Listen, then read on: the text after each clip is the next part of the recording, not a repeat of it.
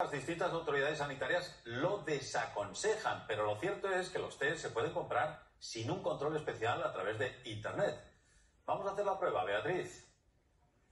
Eso es, si tecleamos comprar test coronavirus, pues nos salen millones de resultados. Vamos a por el primero, que sería un test serológico por 99 euros. Seguimos mirando, y por aquí tenemos una oferta, un test por 39 euros, 5% 75.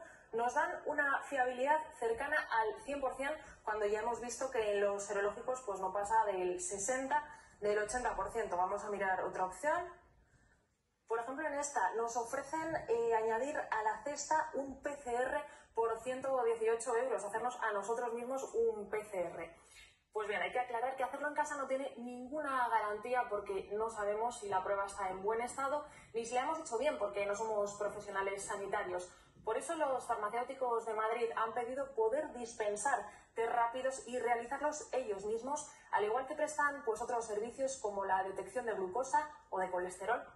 Poder ayudar a la población que quiera conocer su situación a los centros de salud si fuera necesario. Estamos perfectamente capacitados para realizar este tipo de pruebas. La incertidumbre